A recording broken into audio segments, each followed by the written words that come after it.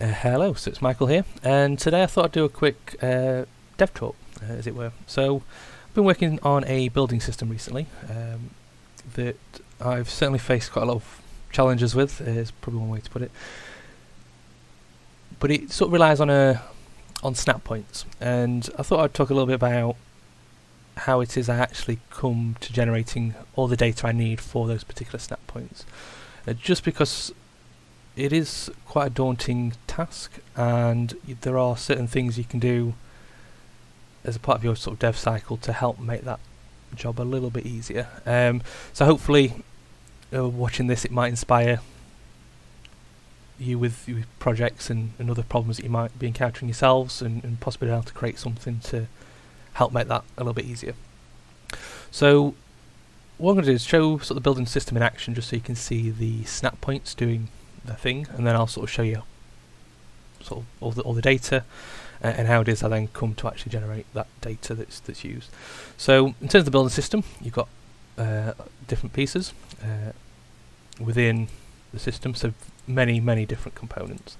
So whilst it's the easiest option is just to have it all aligned to a grid. That itself is a little bit boring. So from a player perspective, no one wants to be able to just build to the grid. So with this particular system, you can place objects at any angles that you like, and it will automatically know.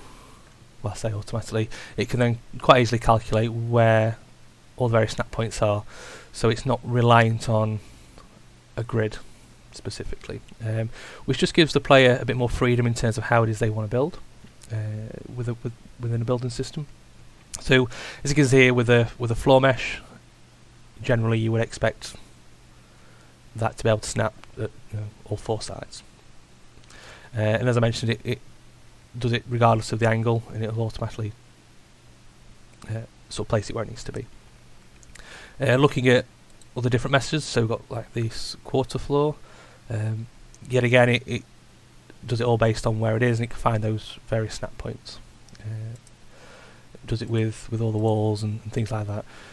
But one of the reasons why I myself uh, sort of lean towards snap points is if you can see here, the the mesh itself automatically rotates uh, based on the snap point that it's on. So this just allows players yet again to very quickly iterate round and and place things where they want them to without having to worry, oh, I need to rotate it now. Of course, with any system like this, the meshes are always going to be in some rotations that, that the player might not want. But the idea is to take some of that work away from the player to try and make their experience as, as, as smooth as possible. So, as you can see, um, works with all all the meshes, um, including the walls. So this particular wall, it only has one snap, one rotation, so particularly to a floor, but then you can still go in and, and rotate it afterwards. So hopefully that gives you a bit of an idea in terms of what it is that I've created. Um, so now I'll go ahead and actually show you the, the data uh, that it's using to drive all these snaps. So I have a data table called snap groups, uh, and eventually, when I get around to, to finishing them all, uh, they, this will be full of all the various snap groups. So the meshes themselves, they have a, a socket inside them, and then the socket would the socket name would represent one of these uh, within the, the list, and that's the snap groups that that particular mesh would would use. So if I was to look at the floor full, uh, which is the one we're using in, in the example, it then lists all the other different base types, uh, as it were, and within each of these is then a list of transforms.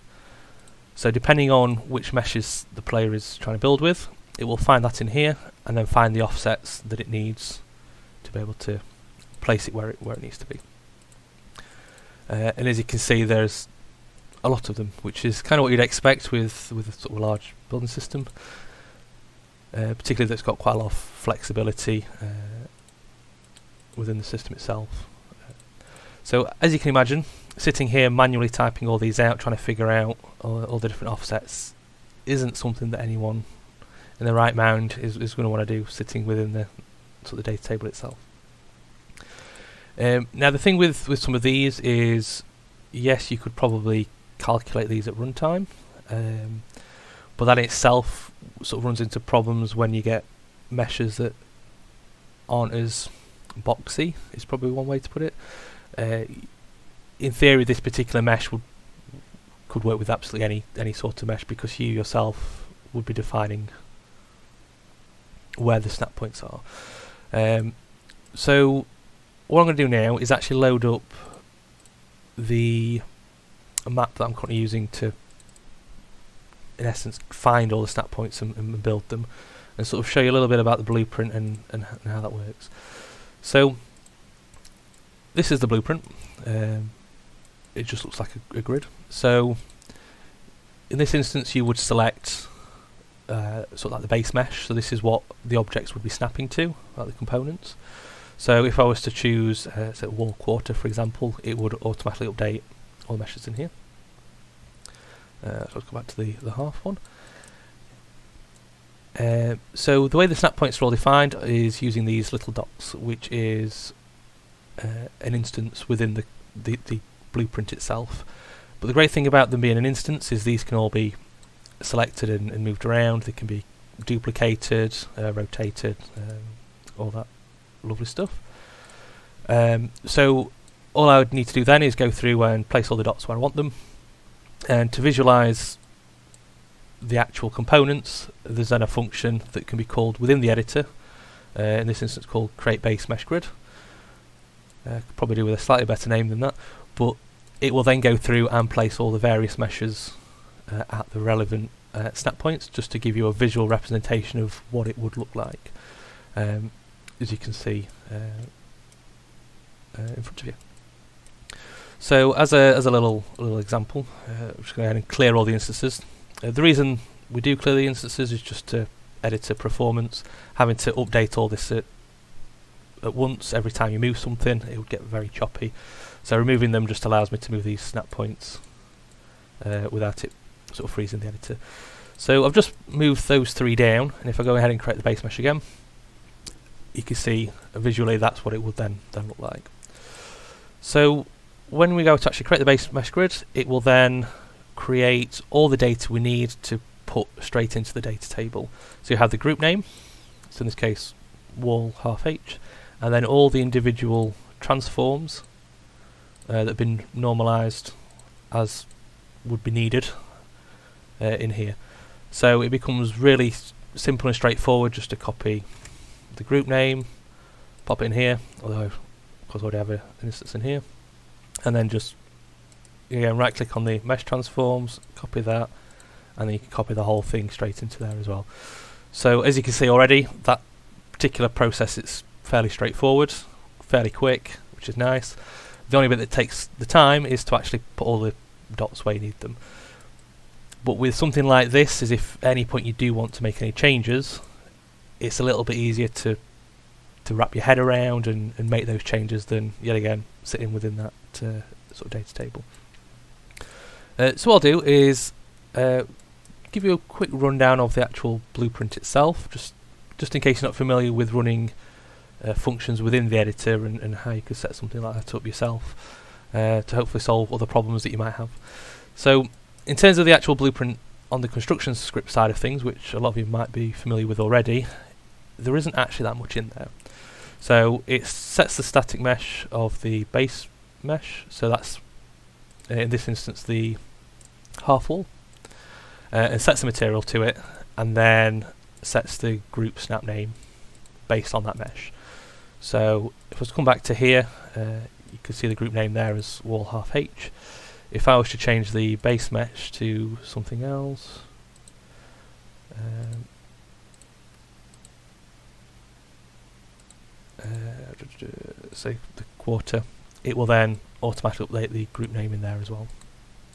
So it sort of just helps prevent you from accidentally calling it something that it shouldn't be. Yet again, there's different ways you can do this. Um, for me, the way I get it is just by removing any underscores from the actual file name and then removing the, the proto at the end. Uh, but again, there's different ways you can do this.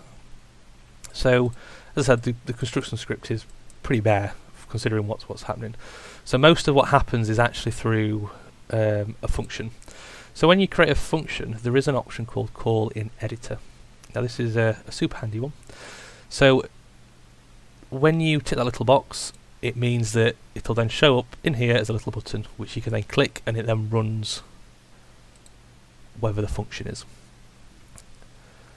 So there are a few caveats you're kind of got to remember when dealing with calling editor functions. So, for example, you can't run functions that have inputs or outputs. Um, it has to be a, a, a self-contained function, so no inputs or outputs. So if I was to go ahead and open up the create base mesh, this is where everything sort of starts. It starts off by clearing all the other previous component instances and things like that. That's just to make sure you don't end up with thousands of instances that shouldn't be, aren't needed anymore and, and things like that. Um, there's then another function here that then gets creates all the, the specific transforms that are needed from uh, the marker instance. So let's come back in here. There's the marker instance here, which is just a, a ball with a material on it, um, and then some post-processing outline material just to make it visible regardless of where you are. So with because it's all in the same blueprint, we can then get all the, the specific instances. So we see we'll get the instance count, loop through, get all the transforms, do a bit of uh, manipulation here. So this this here is just making sure that all the numbers are whole numbers as best as possible. Just because as you're moving them around, you, you get things might get off by like know, slightly by one one or two points because of floating point errors and all that. Uh, so that just helps mitigate that, and then it populates the transforms array. So going back out of there, we then have uh, another function. So this gets assets by path. Now, this is the first time I've actually used this particular node, uh, and it's quite useful. So you specify a path, uh, and it gets you all the asset data. So in this instance, what it's doing is it's getting every single asset that is in this folder. So that's all of these meshes, which is super handy for me because it means I don't have to manually go in, putting all these into a, an array or, or, anything like that. It can just fetch them all and it pops them into a, a, an array which can then be used somewhere else. Uh, so at this point we then start doing some loops. Uh, this is to create the grids using sort of the size of the, the mesh array to determine that. Um, what we then do is create actually add the base mesh in, so creating the the grid. So that's all the this instance all the wall halves. Uh, so that creates the grid, which is, as you can see. Uh, once it's done all that, we then come into the create instance comp from asset data. So this function gets the asset data. So when we get the asset, it returns the, the object. We can then cast that to a static mesh, and then we actually get the static mesh data, which we can then use um, to set the static mesh of a an instance mesh component. So once we've done all that, it then sticks it in an array so we can then use that uh, the next step. So once it's done all that and created all those, we can then come in and start adding all the components from those dot markers. So, and that what it does then is just loops through the transforms, does some additional checks as it loops through, uh, trying to find the sort of closest uh, instance to uh, the marker so it can do what it needs to do uh, and then it just has the instance. Uh, as a part of that it then populates that mesh transform so this is yet again sort of just manipulating that data to how it is we need it to be in the data table and it creates that as well. Um, so all in one fell swoop. So as you can imagine trying to do all this on the construction script would, yeah, just isn't the best of ideas because it just lag out the um, the editor but because we we do have that option to call in editor, um, it just helps make things run a little bit a little bit smoother. So, for example, if you know, coming back to this one, if I was to go and create it, it probably pauses for about a second, which when you're expecting something to happen isn't too bad. But if I was to try and do that whilst dragging objects around, waiting a second each time, it's, it's, that in itself is going to get quite tedious. Um, so yeah, so this is kind of like a bit of an overview in terms of something that I've created to help solve one of my problems within the editor to create that data and, and, and make it a little bit easier. Um, so obviously, if you're trying to create data yourself where you're needing it, you know, just think, you know, is there any way, is there anywhere is there another way that you could be creating that data that isn't you manually sitting there banging your head against the keyboard wondering, you know, is it worth it? Um, so yeah, so hopefully you found this um, bit of a dev talk uh, helpful. Um, let me know what you think. Um, is there any problems that you've had where you've done something similar? You know, if you you know create something to solve a problem, share. You know, let everybody else know how it is your what it is you're doing, and hopefully you can give other people some ideas to on how they can possibly solve their problems as well. So yeah, so thanks for thanks for watching, and uh, take care.